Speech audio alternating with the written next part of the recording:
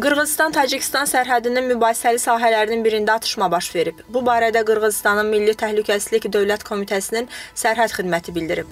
Məlumatda bildirilir ki, martın 10-da səhər saatlarında tərəflər arasında odlu silahlardan istifadə olunmaqla insident baş verib. Xəsarət alanların olmadığı deyilir. İnsidentdən sonra Qırğızistan və Tacikistan rəsmiləri arasında danışıqlar keçirilib. Xatırladaq ki, Qırğızistanla Tacikistan arasında sərhəd bölgəsində ötən ilin aprelində və bu ilin yanvarında geniş miqyaslı toqquşmalar dar qeydə alınmışdı.